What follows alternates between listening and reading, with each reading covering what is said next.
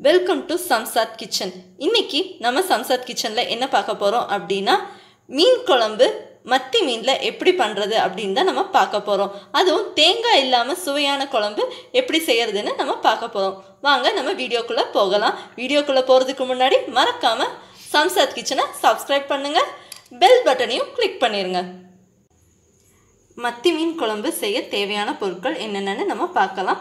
நான் இப்போது மத்தி மீன் அரை கிலோ எடுத்திருக்கேன். சின்ன வெங்காயம் ஒரு பத்தெண்ணம் எடுத்து இந்த மாதிரி நறுக்கி வச்சுக்கோங்க.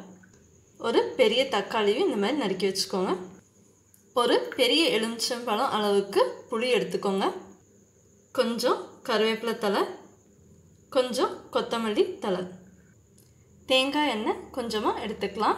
இது கடைசியில் ஊற்றுறதுக்காக சிகப்பு மிளகாய்த்தூள் ஒரு டீஸ்பூன் எடுத்துக்கோங்க.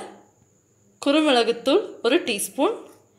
ஜீரகத்தூள் அரை டீஸ்பூன் மல்லித்தூள் ஒன்றரை டீஸ்பூன் உப்பு தேவையான அளவு மஞ்சள் சிறிதளவு. இது எல்லாமே நான் இங்கே வச்சுருக்கிற ஸ்பூன் அளவுக்கு எடுத்தது. அந்த அளவுக்கு நீங்களும் எடுத்துக்கோங்க. அரை கிலோ மீனை இந்த மாதிரி ஒரு பெரிய பவுலில் போட்டுக்கலாம். அப்போ தான் நமக்கு மித்ததெல்லாம் மிக்ஸ் பண்ண நமக்கு ஈஸியாக இருக்கும். இந்த மாதிரி நம்ம எடுத்து வச்சுருந்த புளியை கரைச்சி எடுத்துக்கணும். இப்போ இதை மீனோட சேர்த்துக்கலாம். இப்போ இதோட ஊற்றுறோம் இதோட நறுக்கி வச்ச வெங்காயம் தக்காளி மல்லித்தலை கருவேப்பிலை தலையும் போட்டுக்கலாம்.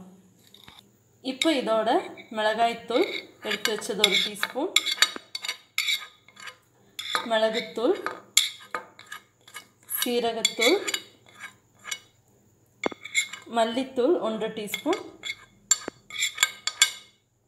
தேவையான அளவு உப்பு. கொஞ்சம் மஞ்சள். சிவப்பு மிளகாய்த்தூள் உங்களுக்கு தேவையான அளவுக்கு எந்த அளவுக்கு காரம் வேணுமோ அந்த அளவுக்கு போட்டுக்கோங்க. இப்போ இதை நல்லா கலக்கிக்கலாம்.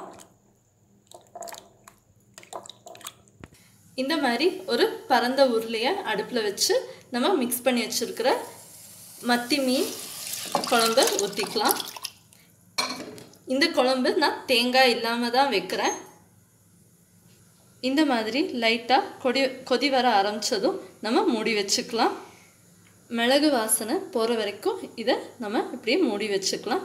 அப்போது நல்ல மீன் நல்லா வெந்து குழம்போட குழம்போட மீனும் சேர்ந்து நல்லா கொதிக்கணும்.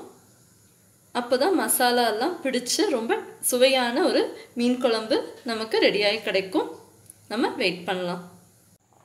இப்போது மீன் குழம்பு நல்லா கொதி வர ஆரம்பிச்சிருச்சு. மீனும் வெந்துருச்சு. இப்போ இதோட கொஞ்சம் தேங்காய் எண்ணெய் ஊற்றிக்கலாம்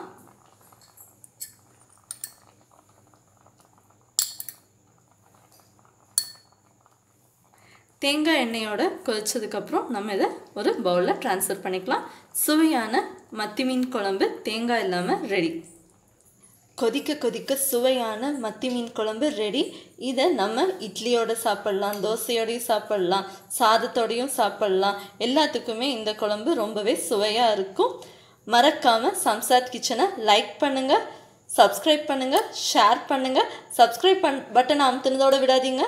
மறக்காமல் பெல் பட்டனையும் கிளிக் பண்ணுங்கள் அப்போ தான் நான் சமைக்கிறத நீங்கள் பார்க்க முடியும். இந்த குழம்பை செஞ்சு பார்த்துட்டு கமெண்ட் செக்ஷனில் எனக்கு எப்படி இருந்ததுன்னு போஸ்ட் பண்ணுங்கள் பை நெக்ஸ்ட் வீடியோவில் பார்க்கலாம்.